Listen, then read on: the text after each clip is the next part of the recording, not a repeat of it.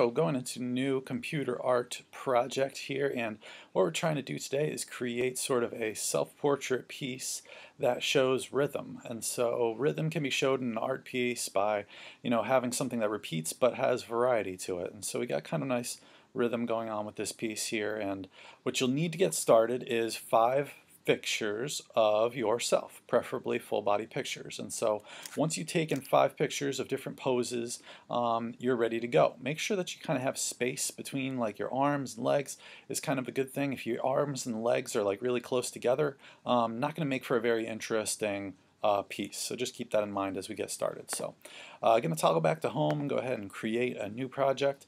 Uh, we'll choose full HD and we'll put the name in as Rhythm and then we'll sit, say create. So um, once you've taken your photos, email them to yourself and then you'll want to download them to your laptop or your computer. And then you'll just go ahead and go File, Open Image, and we will choose to open the photos wherever they happen to be. Um, if they're in your downloads folder on your computer, mine are in a pictures folder um, because I took these using the photo booth on my laptop. So um, they went into a pictures folder. If you take them on your phone and email them to yourself and download them, they're probably in your downloads folder.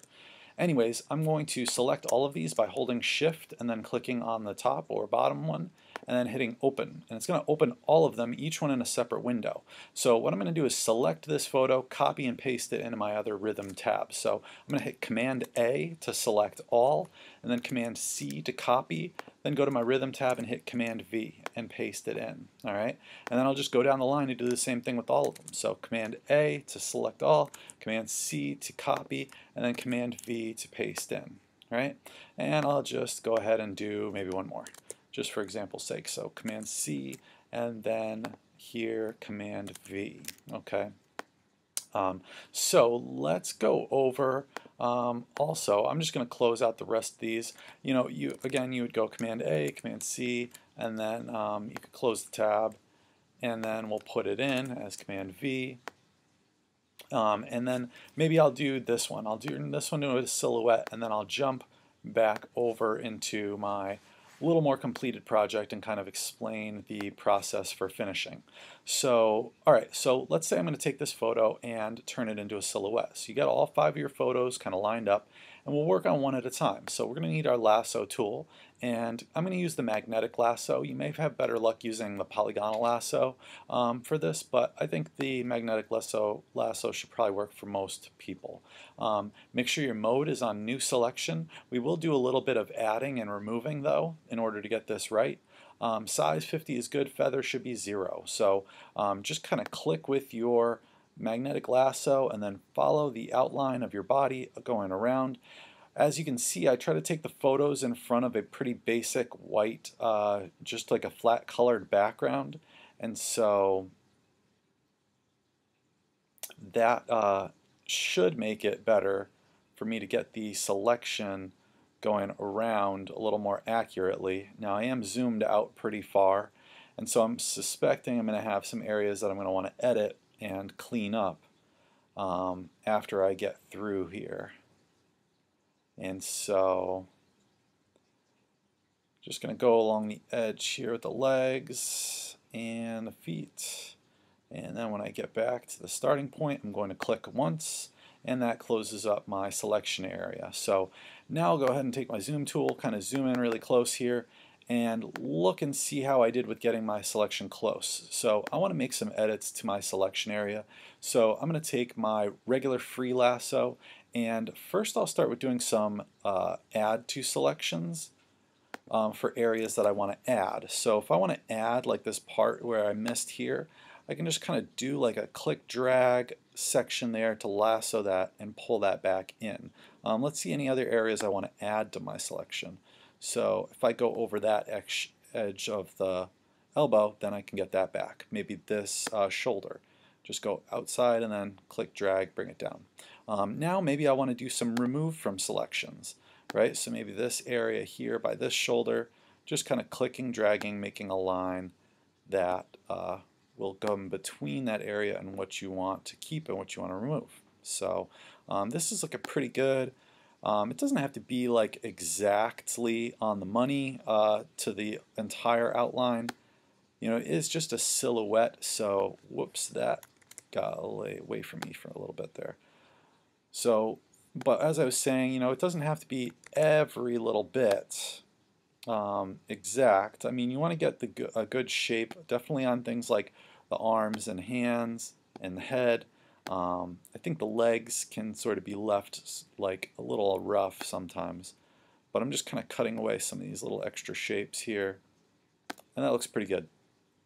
Um, I will want to make sure I uh, kind of subtract this area right here between the legs, make sure that that is an open area, and cool. So now I can zoom out a little bit and ready to do the action where I turn this into a silhouette. So what you're going to do at this point now is create a new layer, an empty layer, right above the image because you don't want to fill directly on the image layer because then you can't really separate the image from the background. So got to be on a new layer. I'm going to take my fill bucket, uh, whatever color I have is fine for now, and just going to click to fill. And so then hit Command D and there we go, I have one done. So I could hide this image that's underneath it. Um, you could delete this image, this image layer, if you think your silhouette looks pretty good and you don't really need it underneath there anymore, you could delete it. And then um, I'll just clear out, or just make these other ones invisible too, just so I can see what I got a little bit better. Um, all right, so this would be kind of like one that's pretty good and set. So the next part would be that I want to make sure I show you is how to do the shadow that's underneath them, right? So I got one guy here and I'm going to do the shadow, kind of convert him and turn it into a shadow as well, okay? So what I need to do is duplicate this layer. I'll go uh, click on the three dots here. I'll duplicate the layer. So now I have two of them, one over the other. I'll go ahead and hit edit, transform, and flip him horizontally. And then just take my arrow cursor tool, drag them down, Oh, did I say flip horizontally? My bad. Uh, flip vertically. There we go. Flip vertical. There we go. My bad. Um, so now I have this going the opposite way. I just kind of put the feet so that they sort of line up. And then I'm going to change this one's color to gray. So I'm going to click on my color picker, go to gray, say OK, paint bucket, and just going to fill this one in. Oops, I might have to click on a layer and then fill that gray. Cool. So there is one pretty much done, right? The shadow layer should go underneath the silhouette layer so that the color is kind of on top, the gray is on the bottom, and you're going to want to do that for all five of your figures. So maybe now I would go ahead and make the next photo um, appear and then go ahead do the same process with this photo, make the shadow, and then um, you know hide away the image afterwards. So once you get that all done, so ideally you have five figures going across, you got the shadows at the bottom, um, you'll want to do two last things. So one is to add a fresh layer at the very bottom, drag it all the way down, and just use your paint bucket to fill it white.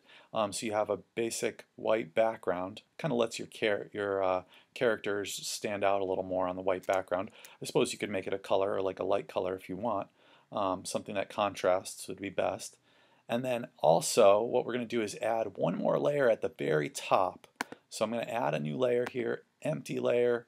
Um, at the very top of all of your silhouettes, all of your shadows, right? So it should go set, sh uh, silhouette, shadow, silhouette, shadow, silhouette, shadow. That's what you should see for your project. Then either way at the very top, we're going to add a little gradient finishing touch here. So clicking on my gradient tool, going to click in the bar here to choose what kind of gradient I want. And the option I have right here, this fifth option, is the one you want. Uh, it should go from uh, white at one end, and then at the other end you sort of see a checker coming through. That means it's transparent. So I'm going to click on this spot just to check and see that that opacity is at zero. So white to uh, transparent. Now I suppose actually if you did make your background a color, you would want it to be whatever that color is to transparent. So because my background's white, white will work for this. I'm just going to click and drag up to the feet basically, and that just kind of puts a light gradient over my shadows so that they kind of fade off the bottom. So that's pretty much all there is to this uh, particular lesson. So hope you guys have fun getting a little creative with your many me rhythm type self-portrait project.